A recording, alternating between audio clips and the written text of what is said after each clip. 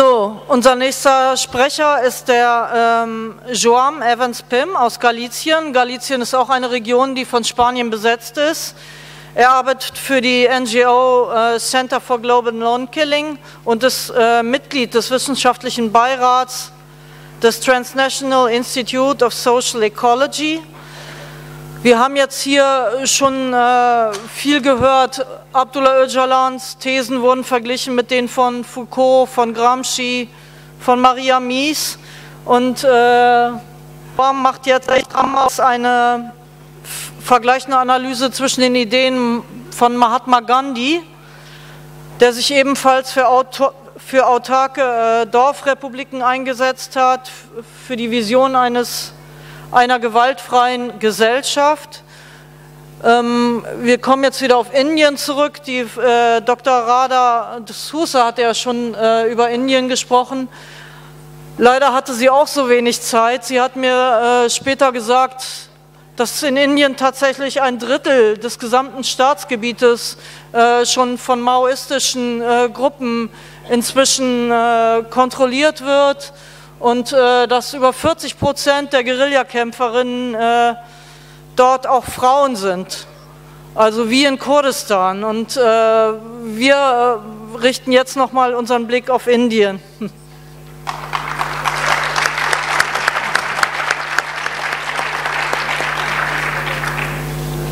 Hello? Hello? Not working yet? Yep. Uh, greetings. Os mellores cumprimentos tamén do povo da Galiza ao povo da Kurdistán.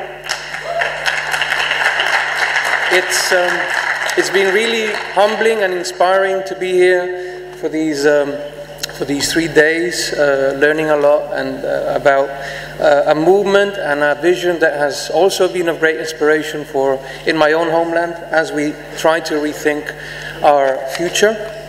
Um, and I would really like to thank everybody who's been involved in, in the organization and making this, this event possible. Um, before I get into the main topic, I wanted to make um, a few observations on some of the things we've been saying. I think it's a good introduction. Uh, for several, in several occasions, we mentioned this 5,000 years benchmark. Um, I think it's an important question, and it also opens a very interesting uh, historical irony. Uh, 5,000 years ago, a very strange thing happened in Mesopotamia for the first time in the history of our species. Uh, it only happened twice again in, um, in later times in Mesoamerica and in the far uh, in, in, in, in, Asia. And this is um, the, the creation of a creature which has subsequently been called the state and that is characterized by extreme levels of stratification, inequality, uh, the emergence of social hierarchy, uh, patriarchy, accumulation of goods, um, the creation of professional military organizations, um, the rise of systemic violence and warfare, and um, the emergence of large cities. This is something that has never happened before in the history of our species. Um, the previous landscape um, for the, for the uh, at least 100,000 years before that was characterized by uh, forms of social organizations that were essentially egalitarian, uh, based on cooperation, an economy based on sharing, uh, and uh, in political terms, it, these were acephalous and autonomous units. Uh, I think uh, Öcalan very wisely presented the emergence of this uh, creature that was born in Mesopotamia as an anomaly or a disease in terms of our human experience. And I think the irony of what we've been discussing for the last day, days resides that it's precisely in Mesopotamia, 5,000 years later, that uh, a treatment uh, that calls for the sanity of humanity and to uh, dissect, as we have mentioned in the title, and, and treat this um, pathological disease which is called the state, and especially in its latest form, which is uh, uh, capitalism, uh, I think it's, it's, it's, it's an irony that deserves our, our attention. Uh, the other aspect uh, that we mentioned, several people mentioned, is the 99%, or it could be 95, but we, we won't get into the maths for that. Uh, so if we consider that the state is a, is a creature of the last uh, 5,000 years in Mesopotamia, much later in other parts of the world, such as where we are uh, physically today, um, we have to understand that for 99% of our history of our species, we've actually lived in a form of in uh, social organizations that are uh, characterized by the ethos of egalitarianism, sharing, cooperation, which I think is also in the core of, uh, of what democratic confederalism represents and is trying to, to bring uh, our, uh, the, the, the, natural form of organization that has characterized our, our species. Um, in, in, the opening words that Öcalan uh, mentioned uh, is also that um, this pathological development, which is called the state and, and its form in its capitalist form, is also pushing us towards, uh, I quoted, uh, limits of sustainability.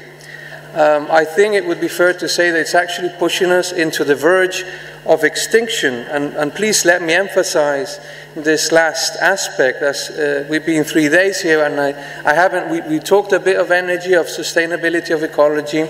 Uh, the word peak oil has not come up once and I think it also deserves uh, rather serious attention because oil is basically the blood of capitalism and if we're trying to replace capitalism, capitalism with uh, some form of alternative we should uh, consider uh, the, the basic energy that has, that has sustained it and its uh, monstrous growth over the past century.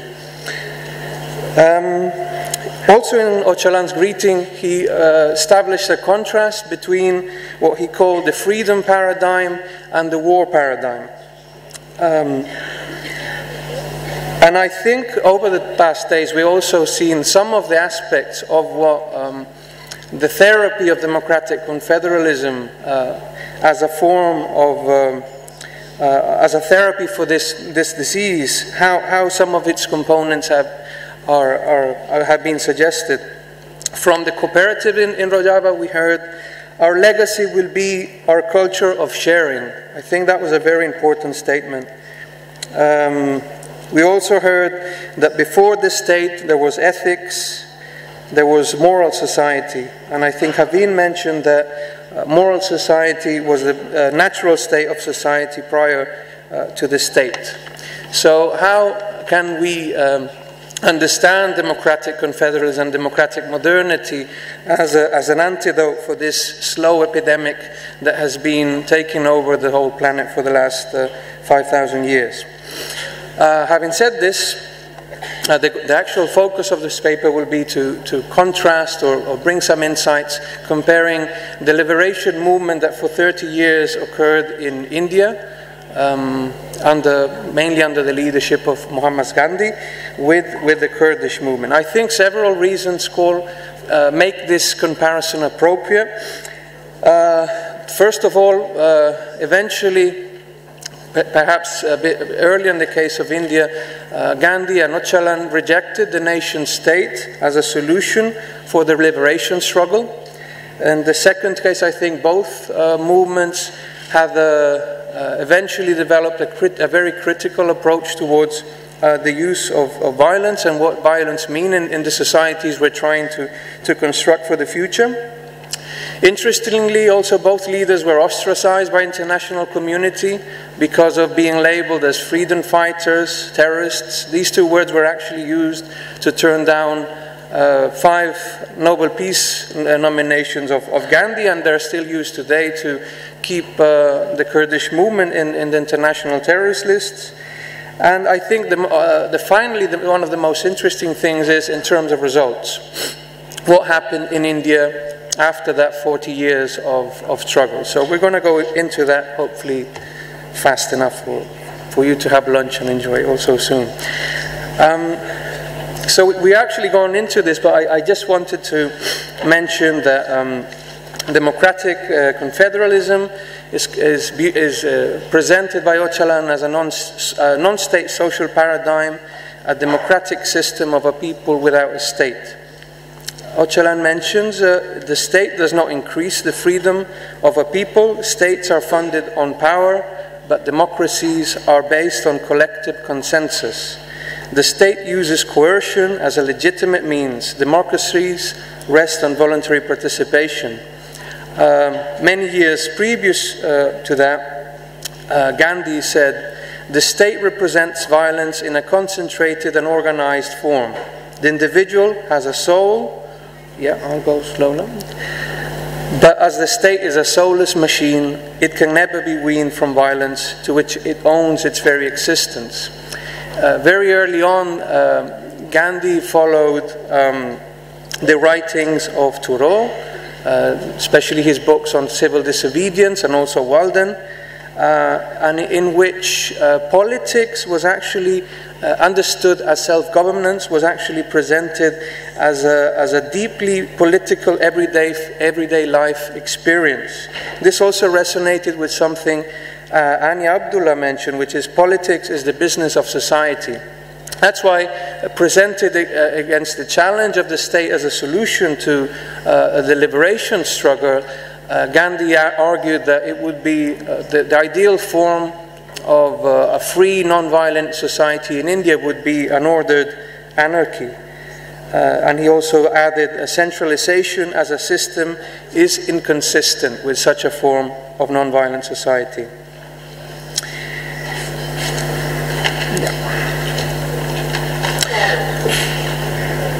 Okay. Um, I think as another point in which um, both uh, leaders converge is that uh, Gandhi insisted that um, by replicating the educational, political, economic, legal, military frameworks of the state that was oppressing, that was uh, taking away the liberty of, of or the, the, possibility of freedom of India would be the major obstacle uh, for independence to be achieved. And we'll go into the concept of, of independence in Gandhian thinking.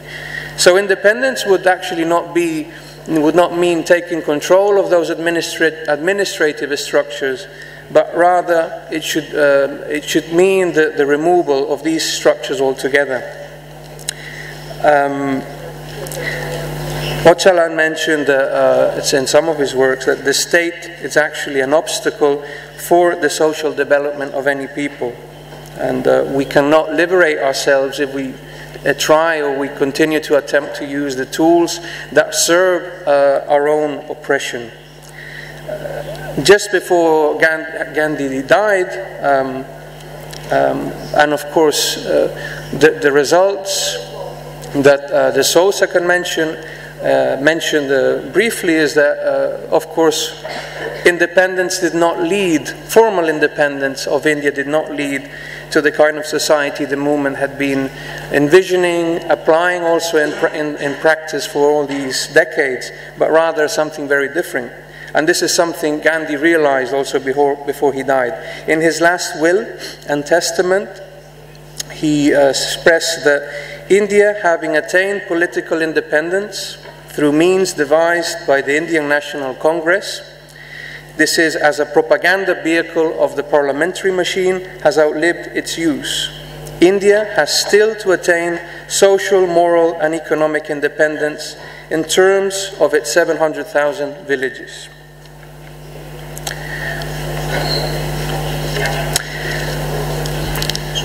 Yep, three minutes, okay. That's. Uh, so basically, uh, Gandhi argued that there was two schools of thought that were moving the world in opposing directions. One is the, that of the cities, which are dependent on machinery, industrialization, and war, and the other one would be that of the rural village, based on handicrafts and embeddedness in nature. This, I think, returns us to that idea of the Öcalan mentioned in the opening speech of the difference between the war paradigm and the freedom paradigm. Gandhi expressed that um, modern cities uh, drain the lifeblood of the villages. And of course, we have already mentioned peak oil and how uh, that is, is also the, the, the blood of, of capitalist modernity. Um, I won't go into that, but it's also interesting how uh, the Gandhian movement was also a precursor of many of the contemporary ideas on organic agriculture, bio biodynamics, and so forth. And just to mention something uh, De said is that industrialism is um, incompatible with, with democracy. And, and, the consequences of this were actually seen in India after independence uh, in a book that Shiva wrote the violence of green revolutions, which I think is very similar to what happened in South Africa, uh, when, when the consequences of the neoliberal quick fix promises for development were actually implemented with extremely tragical results. So what is the alternative? Uh, that, uh, what is the, the alternative that uh, the Gandhian movement proposed in India? This alternative was based in three pillars. The first is Swaraj, which means integral community, non-hierarchical self-government. Uh, Swadeshi means self-sufficiency. And the last uh, concept is Satyagraha, which means uh, truth power or truth force, which I think is also would deserve a, a closer analysis compared to Öcalan's uh, truth regimes, but we won't go into that.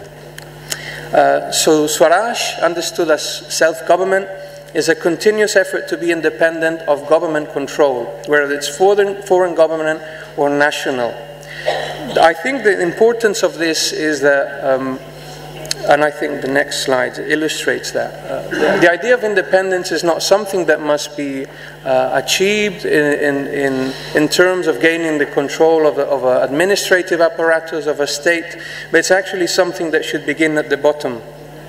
In, uh, in, the, in, in the way Gandhi presented this is that every single village in India should become uh, a village Swaraj or a village republic with full powers um, to the extent that it should be able to managing its affairs uh, and to the extent of defending itself against the whole world. So I think this also is very close to the idea of embedded council democracy which is proposed by democratic confederalism in Kurdistan. Um, another important aspect is that uh, Gandhi emphasized that there is no need to wait for any major revolution or uh, you know, in, in, in, the Marxist tradition of taking the control of the state power, but this is something that any community, any person in any community can start doing uh, now and any, at any point without waiting for anything to happen on the outside. This is a, a work of a lifetime and it's a work that the community can be involved in terms of uh, gaining its independence based on these three pillars of self-government, self-sufficiency and, and truth force. Finally, and this, is just to finish, I, I, wanted to bring another concept which I think is, is interesting to compare uh, in the Gandhian thinking and, and, and uh, Öcalan's democratic confederalism. Uh, in, in, India, uh, Gandhi's thought was very much focused on the specifics of the village republic, and I think that is also something we can still learn from as it was a basis for some movements that appeared later on, as the Eco Villages movement, more recently Transition Towns initiatives, uh, based on the intentional communities, the ashrams, and so forth. But uh, what, was, what wasn't presented at all clearly was how these villages should uh, relate to each other in the context of a stateless society. And I think this is something that Öcalan's vision of democratic confederalism actually presents in a much more clear way. Uh, the only uh, writings that Gandhi's uh, how um, how village republics should relate is, is the concept of oceanic circles that he presented as a global federation of small, self-sufficient but interdependent village republics. Uh, and I think that uh, for, for, those of us who are working to try to uh, adapt and rethink this vision for each of our own places of origin, uh, democratic confederalism represents a tangible way in which uh, uh, societies, small-scale societies, can relate to each other. And I guess I don't have much more time, but I'll be happy to, to discuss some of these ideas with you in, in more detail in the debate. So thank you so much.